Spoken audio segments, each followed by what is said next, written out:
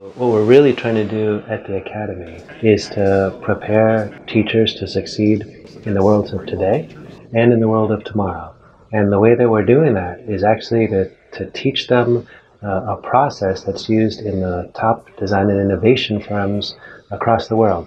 Those firms that are out to figure out what the world of tomorrow is going to be. So what we've adopted is uh, the Innovators Compass, which we which we've chosen because it's an incredibly learnable, straightforward, simple approach to the design process that's used in these design and innovation firms. At the end of the day, what we're aiming for is that we develop in teachers a habit of problem solving, a certain kind of design muscle. So what the design compass is, is basically a simple approach to moving through the design process. And it consists of four basic moves. You go out into the world and you observe.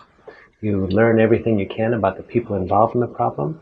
You abstract up to understand what really matters about all the things that you've seen and learned.